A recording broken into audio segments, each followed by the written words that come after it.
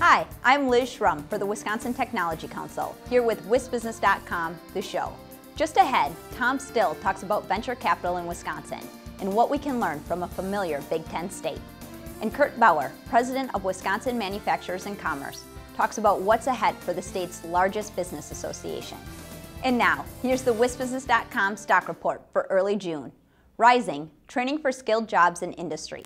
16 technical colleges in Wisconsin are sharing in a $15 million federal grant aimed at training more people for jobs in advanced manufacturing. At Blackhawk Tech in Janesville, for example, the money will help veterans and others who want to enter the college's industrial mechanics program. And falling, rent-to-own legislation. Knocked out of the state budget is a plan that opponents believed would have weakened consumer protections at rent-to-own stores the legislature's budget committee voted 10 to 6 to strip the budget of the roundly criticized idea. And now, here's Tom Still with his Inside Wisconsin commentary.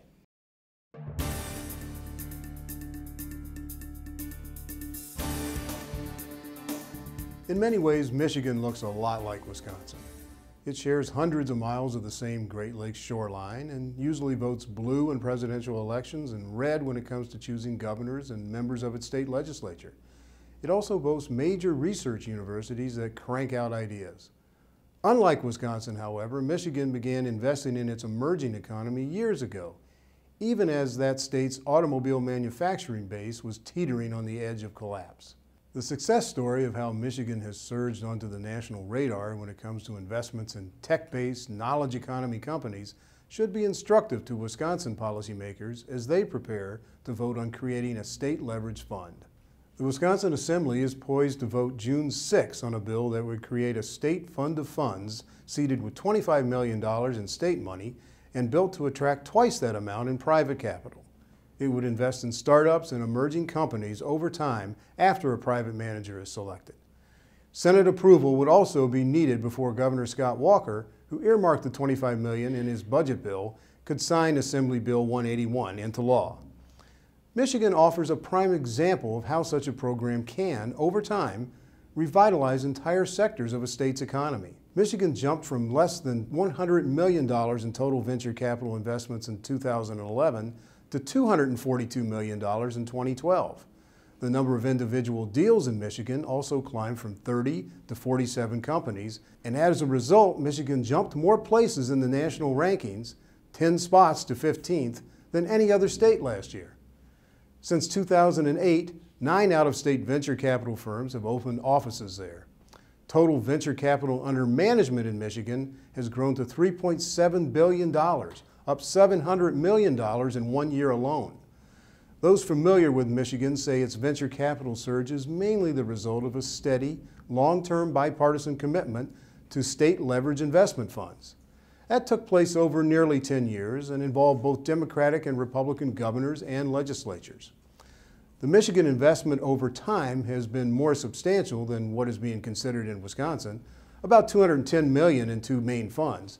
And it took place at a time when Michigan's state budget was in far worse shape than Wisconsin's budget is now. In contrast, Wisconsin has only a relative handful of venture capital funds by any description, and about one-tenth of 1% of the nation's venture capital under management in the state. Wisconsin can compete for its share of a $50 billion industry, annual angel and venture capital investments in the United States. Passing Assembly Bill 181 will help build on Wisconsin's strong foundation. After all, what does Michigan have that we don't? Thanks, Tom. I'll be right back with Kurt Bauer, President of Wisconsin Manufacturers and Commerce. Whyte Hirschboeck Dudek represents companies at all stages of development and in a wide range of industries to navigate the legal challenges of regional, national, and global growth. At WHD, every stage takes center stage. Kurt Bauer, President of Wisconsin Manufacturers and Commerce, is here with us now. Thanks for joining us, Kurt. My pleasure, Liz. The state budget debate is entering what should be its closing month. What are some of the issues you're tracking at WMC?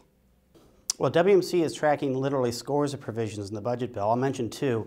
One of them is permitting reform, particularly with the Department of Natural Resources. We're trying to uh, streamline the process because that'll help with economic development projects that'll create jobs.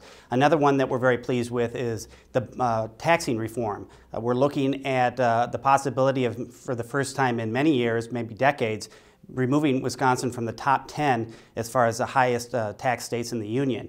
Uh, we think that there's more that needs to be done, but we think that this budget is a nice way, uh, place to start.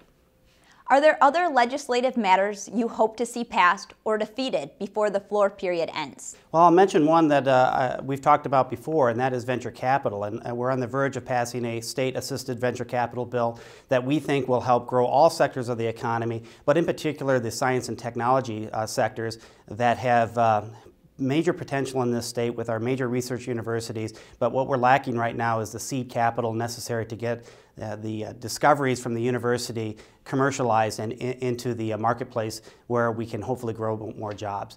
Uh, there are some uh, tort reforms that we're looking at, continuing on what we were able to do last legislative session. Uh, $2 billion a year is what Wisconsin businesses pay in legal and settlement costs. It's way too high, and we've got to try and minimize the exposure businesses have to frivolous lawsuits. And we're also looking at additional permitting uh, changes and regulatory relief.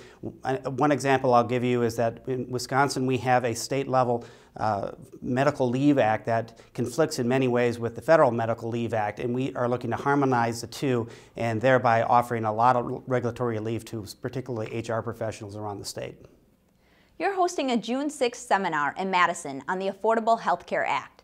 What should businesses know about this event? Well, this is the third in what we think will be at least a five part, part series for us. The Affordable Care Act is a massive piece of legislation. There's a tremendous amount of uncertainty with it. Each time we have a conference, we're trying to update uh, the business community on the progress that is being made in the rulemaking process so that they can understand the costs and the compliance aspects of the law. Uh, that's what we're going to try and do at this meeting here in June uh, as we've got the October 1st uh, enrollment deadline coming up. We'll have another program in the fall and then probably again one in the early part of winter as the uh, exchanges are due to, to come up in the first of the year. It's a big issue to Wisconsin businesses. In fact, our economic survey that we just got back from our membership shows that right now healthcare uh, concerns are the number one obstacle to growth in the state. Thanks, Kurt, and thank you for watching this edition of WisBusiness.com, the show. The show is produced by WisBusiness.com and the Wisconsin Technology Council, and sponsored by BMO Harris, Whyte Hirschboeck Dudek, MG&E, and UW Milwaukee. Visit our websites to read and learn more. I'm Liz Schrum of Talent Foot Executive Search. See you next time.